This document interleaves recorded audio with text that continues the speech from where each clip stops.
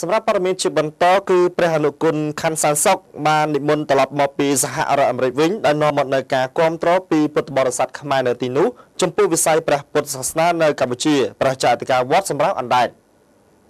ក្នុងរយៈពេលប្រមាណ73ខែដែលព្រះសក្យវង្សរដ្ឋសារឿនសមាជិកធរសភានៃព្រះពុទ្ធសាសនានិងជាព្រះអនុគុណខណ្ឌសានសុកនិងជាព្រះចាតិកាវត្តសំរងអណ្ដែតបាននិមន្តទៅបំពេញព្រះសកម្មភាពវិស័យព្រះពុទ្ធសាសនានៅសហរដ្ឋអាមេរិកហើយក៏បាននិមន្តមកដល់មាតុភូមិវិញនៅព្រឹកថ្ងៃទី31ខែធ្នូឆ្នាំ2017 ព្រះអង្គបានមានថេរដីកាថាក្នុងឱកាសគង់នៅសហរដ្ឋអាមេរិកមួយរយៈពេលនេះញាតិញោមដែលជាអ្នកគោរពប្រតិបត្តិវិស័យព្រះពុទ្ធសាសនាបានបង្ហាញនូវការគ្រប់គ្រងនិងការកោតសរសើរដល់កិច្ចប្រតិបត្តិការដ៏ល្អ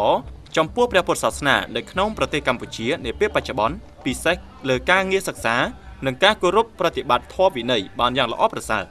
ព្រះអង្គមានថេរដីកាបញ្ជាក់ទៀតថាជាការពិតសាសនា អាចគង់វង្សនិងរីកចម្រើនទៅបានគឺអាស្រ័យដោយមានការគោរពប្រតិបត្តិត្រឹមត្រូវពីអ្នកដែលមានជំនឿក្នុងនោះមានទាំងអ្នកបួសនិងប្រជាពុទ្ធបរិស័ទផងដែរ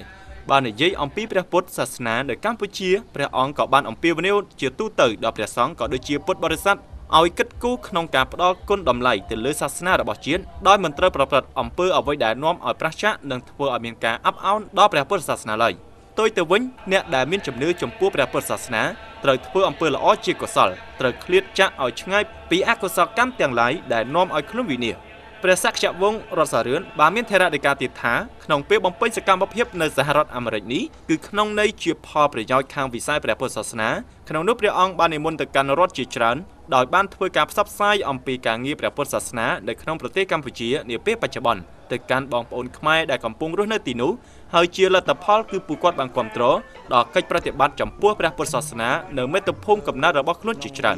ឆ្លៀតក្នុងឱកាសនោះដែរព្រះអង្គក៏បានជម្រាបជូនបងប្អូនខ្មែរក៏ដូចជាជនអាមេរិកអំពីការរីកចម្រើនរបស់ប្រទេសកម្ពុជាហើយការរីកចម្រើនរបស់ប្រទេសជាតិនៅលើពហុវិស័យនេះក្នុងនោះវិស័យព្រះពុទ្ធសាសនាក៏មានការរីកចម្រើនផងដែរ ដូច្នេះប្រជាពុទ្ធបរិស័ទទាំងអស់ត្រូវចូលរួមលើកស្ទួយវិស័យព្រះពុទ្ធសាសនាឲ្យបានផ្គុំកាន់រុងរឿងបន្ថែមទៀតដើម្បីទុកជាគ្រឹះសម្រាប់ព្រាមប្រដៅមនុស្សឲ្យមានធម៌ខន្តីយោគយល់អធិស្ឋ័យដែលនាំមកនូវសុខសន្តិភាពទាំងផ្លូវកាយនិងផ្លូវចិត្តជាកត្តាធ្វើឲ្យប្រទេសជាតិទាំងមូលមានសុខសន្តិភាពហើយសុខសន្តិភាពនេះហើយនឹងនាំមកនូវការអភិវឌ្ឍនិងក្តីសុខសម្រាប់ប្រជាជាតិខ្មែរទាំងមូល។